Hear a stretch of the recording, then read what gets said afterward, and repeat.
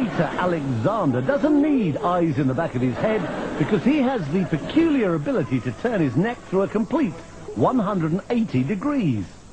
Normally the muscles and the vertebrae in the neck prevent that happening, but because of a peculiarity in his spine, Alexander has confounded orthopedic specialists for years.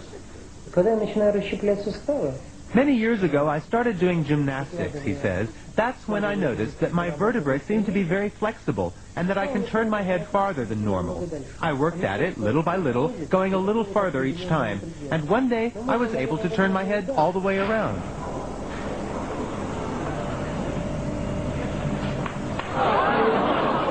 Despite the somewhat unsettling crunching of bones, Alexander claims to feel no pain, which is more than can be said for the people sitting behind him on a bus.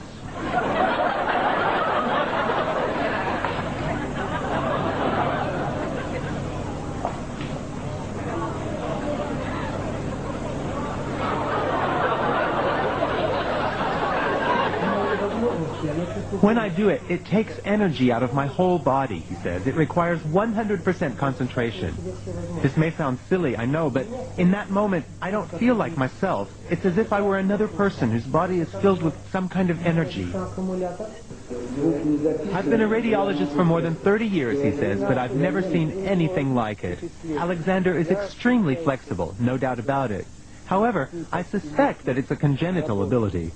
It's not something anyone could learn or train for. On the contrary, if someone else were to try it, they would surely break their neck. For me, it's absolutely normal and doesn't hurt at all.